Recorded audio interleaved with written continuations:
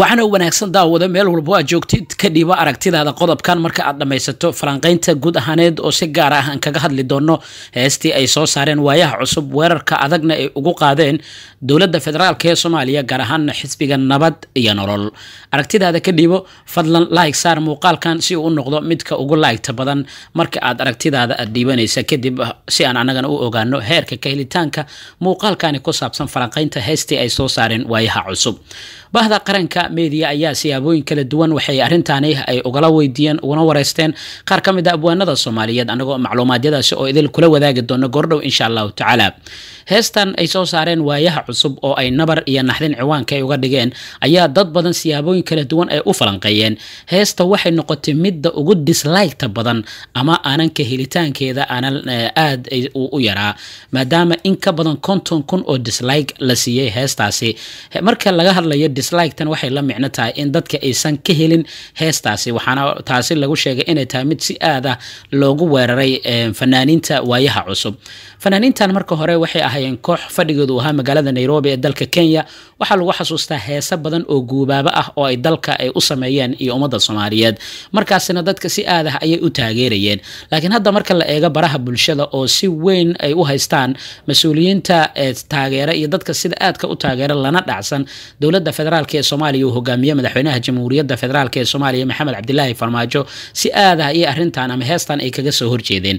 In arrintaani ay dhacdana waxay ka dambeysay in tabaabasho badan la sameeyey maadaama hordhaca heestan ee waayaha cusub ee hore ay u soo saareen oo nabar iyo naxdin ay ciwaanka ay uga dhigeen.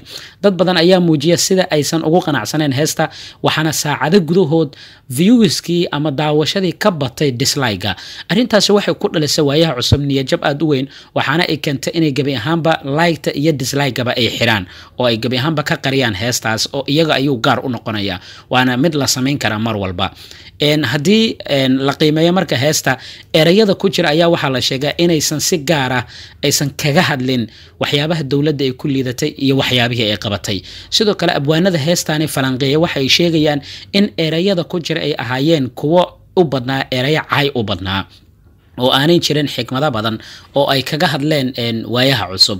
Inkastoo ereyadooda ay ahaayeen kuwo si weyn ugu weerareen dowladda federaalk ee soomaaliya gaar ahaana halheeska dowladda oo lagu yaqaana nabad iyo nolol oo nabar iyo naxdin ay ka dhigeen.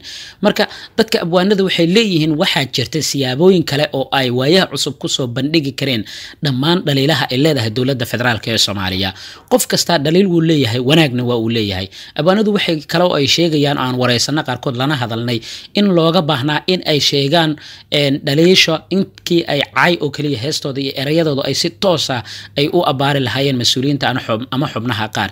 Laakiin looga baahnaa inay sheegaan saddexdii sane ugu dambeysay waxyaabaha ay ku liiteen dowladda ayagoo soo qaadan karay ama ereyadooda abwaan ahaan ay u soo xulan kareen baraha ama goobaha sida aadka looga weerari karayay dowladda federaalk ee soomaaliya ama nabad iyo nolol. Laakiin taasi bedelkeeda ay caay iyo ereyo kale oo toos ah ay keenaan. Taasina waxay ka dhigatay in barihii bulshada looga hormaray loo diyaar garoobay olihii iyo warmihii loo diyaarsaday kadibna dislike badan lagu qabtay. Taasi oo sumcaddarro u noqonaysa heesta marka la eego sidoo kalena sumcaddarro u noqonaysa waayaha cusub. Waayaha cusub dadka sidoo kale abwaanada waxay leeyihiin waxaa ka dambeysa dad gaara ayaa ka dambeeya arrintan in si toosa ay shakhsiyaad gaara u weeraraan maadaama interest ama danahoodii ay waayeen. Haddaba ada aragtidaada maxay tahay? Maxaa ku qasbay? Bay kula tahay in waayaha cusub heestan ay soo saaraan.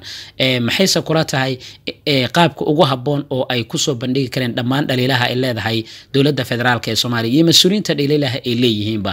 Ayagoo sidoo adigoo sidoo kalena ka hadlaya waxqabadka ee dowladda. Adigu yaa taageersan tahay ma la dhacsan tahay dowladda federaalk ee soomaaliya sida ay wax wadaan mas'uuliyiinta ugu sarreysa xisbiga nabad iyo nololna sideed ayaad u aragtaa qaybta hoose aragtidaada ayaad ku dhiiban karaysaa. Haddii aad taageersan tahay oo aad ka heshay muuqaalkana like ayaad saari doontaa. Annaga ogaan doona heerka ka helitaanka ee muuqaalka. Dhinaca kalena waxaa jirtay hees durbo u muuqatay inay jawaab tahay oo dalmaryaro uu soo qaaday oo isagana nabad iyo nolol uu kaga dhigay ciwaan taasoo u muuqanaysa inay tahay jawaab dadban oo waayaha cusub la siiyey ereyadaas. Marka la eega abwaanka sameeyena si maldahan ayuu kaga hadlay barwaaqada iyo horumarka la gaaray. Tan iyo markii xukunka ay qabteen madaxweyne maxamed cabdilaahi farmaajo ra'iisul wasaare khayre maadaama heesta dalmaryare muuqaalada iyo sawirada ee dowladda federaalk waxqabadkeedii ay ka muuqdeen. Waxyaabaha lagu soo bandhiga waxaa ka mid ah dib u soo celinta bilicdii garoonka stadium muqdisho waddooyinka la dhisay horumarka laga gaaray ama dowladda federaalk ee soomaaliya saadaasha hawadu ay dib ula soo wareegtay muddo sanadaha kadib waxqabadka dowladda iyo waxyaabo badan ayaa heestaasi dalmaryaro uu qaaday lagu soo bandhigay. Marka dad badan ayaa siyaabooyin kala duwan arrintaani u falaqeeyey dadka reactionada bixiya ee youtuberisada soomaaliyeedna aad ayay arrintaani kaga hadleen.